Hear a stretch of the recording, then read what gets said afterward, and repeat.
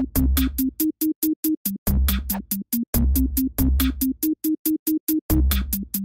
Discover Financial Services is a Fortune 500 company that, as the name suggests, offers a wide variety of financial services to the public. They are among the biggest in the industry, so chances are a lot of the viewers here have dealt with them in some way, either in personal checking, personal loans, student loans, mortgages, but the thing that they are most known for is the Discover credit card. It has a dedicated user base of around 50 million cardholders in the United States, making them one of the big four credit card networks. Yeah, in the US, there are four credit credit cards that stand out far above all the others Visa, MasterCard, American Express, and impressively, Discover. Here is why I think it is so impressive. You have to understand that credit cards, or charge cards as we picture them, hardly existed before 1950. There were stores out there that would extend credit to their customers, but the idea of a single card that could be used at multiple locations was practically unheard of before the introduction of the Diners Club card in 1950. I made a video about Visa versus MasterCard that details the formation of the industry, but the short version is that Visa, MasterCard, and the American Express card all emerged in those early days in the 1950s and 60s and were responsible for making credit cards popular. And once everything was established, it became very, very difficult, I would say almost impossible, to popularize a new credit card because the barrier to entry is so high. Alright, look, if I wanted to start a new one, I would have two major obstacles to overcome. I would have to convince the merchants, you know, the stores and the people selling the stuff to accept the card, and I would have to convince the customers, the general public, to get the card. But the merchants only accept the card if their customers have it, and the customers only want to get it if the merchants accept it. Do you see the issue there? That is why I think it is so impressive that Discover has been the only card to break into that system in a major way once it was already established by the others. Discover did not exist until 1985, when it was started by Sears stores. I realize that department stores become more of a joke today as maybe the biggest ever failure in retail, but in the 1980s it was still a strong brand that was just starting to show signs of trouble. Walmart and Kmart and other competitors were growing fast, taking away customers, and Sears' response, in part, was to expand their reach into different areas, mainly financial services. They were already the owners of Allstate Insurance, having started it back in the 1950s. They had recently bought a major real estate broker brokerage called Coldwell Banker and a major stock brokerage called Dean Witter Reynolds. Sears was still one of the most trusted names out there, so part of the reasoning here was that they would carry over the trust and the brand loyalty that they had built with their customers and use it to sell them a bunch of other stuff that Walmart was not providing them, like insurance, houses, stocks, and eventually credit cards. The Discover card was introduced in September of 1985 in select test markets, mainly in San Diego and Atlanta. The first ever purchase was for $26.77, made at a Sears store by a Sears employee. The big things that made Discover stand out from all of the other cards on the market was that it did not have an annual fee, somewhat uncommon back then, but more importantly, it is credited with being the first major card to provide cash back rewards. It was kind of a game changer because even today, it remains a big thing that Discover is known for, specifically with their Discover It card, providing 5% cash back on select purchases and 1% on all others. But it has been adapted by many other credit cards at this point. I imagine it's one of the biggest factors people consider when choosing a new one. So back in 1985, when they were the only ones offering cash back, that was an attractive reason to apply for it. In fact, they pushed up the national launch date by four months because there was so much demand for it in those test markets. They said applications for it were four times higher than they had expected. Plus, that new date allowed them to launch it alongside a Super Bowl commercial featuring their Dawn of Discover campaign that was complemented with full-page magazine and newspaper ads. I mean, they were really investing in this. The company lost over $100 million that year because they had spent so much money launching the Discover card. Then, naturally, since there were millions of people receiving Discover cards, that was motivation for the merchants to agree to accept it. Over 200,000 of them before the national launch, and more than a million of them by the end of the decade. In addition to Sears itself, the country's biggest retailer refused refused to accept the other big three cards. So if you wanted to buy something from them, it was either cash, the Sears store card, or Discover. Can you imagine that? People were applying for Discover cards just so they could buy stuff from Sears, which may not have been the most helpful for the stores themselves, turning away customers trying to use the competing cards, but it sure helped jumpstart the Discover network. By the 1990s, Sears was still struggling, with Walmart surpassing them as the country's new largest retailer. Clearly, their new strategy wasn't as effective as they had hoped, so they were looking to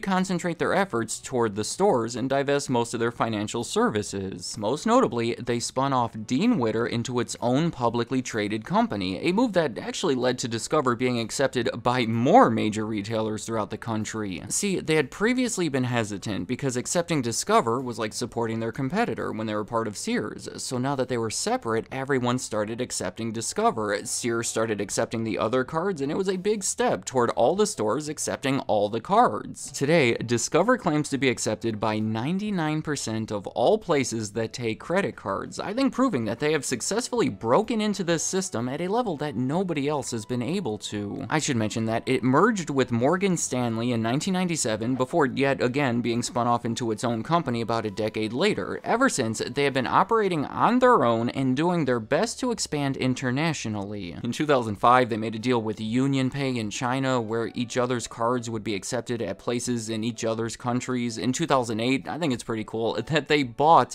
Diners Club, the original charge card. They had become a sizable international brand, so buying it helped Discover be accepted at an additional 8 million locations outside of North America with $30 billion in annual credit card purchases. In 2012, they made deals with banks in Ecuador and Russia to issue the first Discover cards outside of the US. Now, I want to make a distinction between the credit card issuers and the networks. Visa and MasterCard are credit card networks that are issued by various banks. Those banks are the ones collecting interest from customers and fees from merchants. Visa and MasterCard collect licensing fees from banks in exchange for the rights to issue cards using their name and their system. I know it's all tricky. I'm just trying to convey that Visa and MasterCard do not issue their own cards. It's the banks that do it. Now, American Express and Discover are operating with a different strategy in that they do issue their own cards.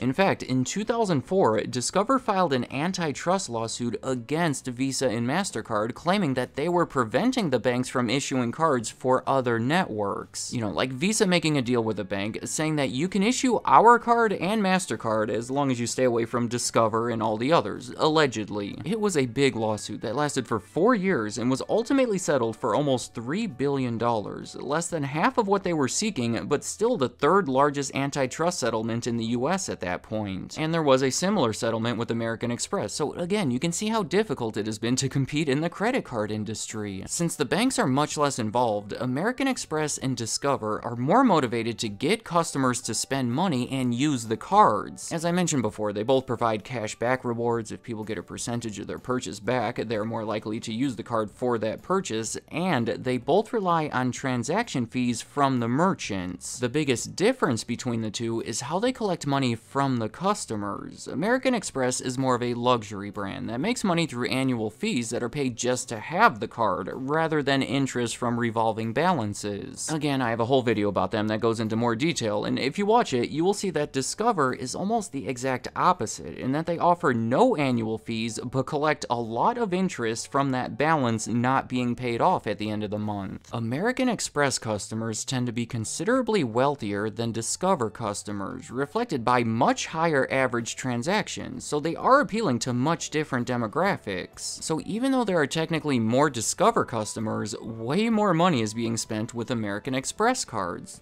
and Visa and MasterCard. By most measures, Discover is the smallest of the big four. Their value on the stock market is only a fraction of the others, but there is still a lot of value in their business, especially for a company like Capital One. In February of 2024, it is still all new as I'm making this video, Capital One agreed to acquire Discover Financial Services for $35 billion in an all-stock deal that is higher than their value on the stock market. It would be the first time they'll be operating under a larger company in 17 years. Keep in mind, there is a fair chance that it might not be approved. It is a wild industry with a lot of positives and negatives to consider from the outcome, but it would be interesting. Capital One is one of the country's biggest credit card issuers. They're one of the main banks that gives people Visa and MasterCards, and obviously, if they combine with Discover, there would be motivation to issue more Discover cards. It sort of reminds me of when they were owned by Sears, being part of a larger company that's boosting them forward to compete against the bigger rivals. That's pretty much how they broke into the category in the first place, so again, way more to consider than I could possibly include in this video, but the combination would create the country's biggest credit card company when measured by loan volume. The good news for Discover is that credit card debt in the United States is at an all-time high, surpassing a trillion dollars for the first time ever in 2023, and credit card interest rates are at all-time highs. Since Discover's model relies on the interest they collect, there could be good times ahead for them if this trend continues. All things to consider for the future of Discover, and probably a big part of the reason Capital One is willing to pay $35 billion to acquire them. Let me know in the comments, what do you see for the future of Discover? Do you think they have a chance of ever becoming bigger than the other major three networks, or is that something that just seems impossible? America's worsening debt situation combined with Capital One's backing could potentially propel them forward, but to what extent, and it's also unpredictable. Finally, are you in fact a Discover cardholder? Did they lure you in with the cashback rewards, or were the competitors offering something that you felt was more attractive? On a global scale, it looks like they still struggle to be as widely accepted as the others, but in the United States, it is 99% acceptance, so at this point, I can't imagine that's factoring into your decision too much. And any other thoughts you have about Discovered or any of the other cards, leave them in the comments. I'd like to hear what you have to say. It pays to discover.